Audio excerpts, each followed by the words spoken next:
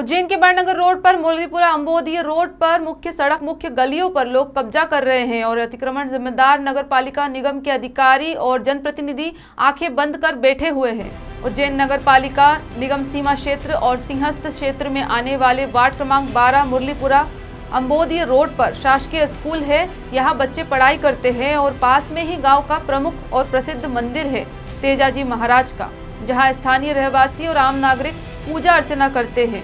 और बच्चे स्कूल जाते हैं, वहीं मुख्य सड़क पर कुछ लोगों के द्वारा कब्जा किया जा रहा है। और गलियों में भी लोगों ने कब्जा कर लिया है, जहाँ विवाद लड़ाई झगड़े की वजह बन रहे हैं। और यह कभी भी एक बड़े लड़ाई झगड़े की वजह बन सकता है, पर जिम्मेदार अधिकारी और जनप्रतिनिधि सब कुछ जानकर भी आँखें बंद कर बैठे हुए हैं।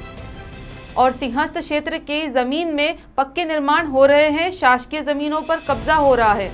और अधिकारी, जनप्रतिनिधि चुपचाप बैठे हुए हैं। क्या हो रहा है? क्या दिक्कत आ रही है? होना होना नहीं होना चाहिए क्या? क्या क्या दिक्कत आ रही है? बोलो तुम। क्या बताओ क्या दिक्कत आ रही है? क्या हो रहा है? हम बोलो। पूजा वूजा दिक्कत आ रही आने में? पूजा तो आई जाओ हुजे नहीं बाजे नहीं तो अच्छा। हुजे नहीं बाजे नहीं आंखते आनी थोड़ी। आपको दिखता भी नहीं है? हाँ, कम दुखे अच्छा। हाँ ज़्यादा थोड़ी दुखे अच्छा। हाँ कम कौन काय का मंदिर है ये? ये नाग महाराज का। अच्छा। तेजाजी महाराज। उज्जैन से वीरेंद्र शर्मा की रिपोर्ट।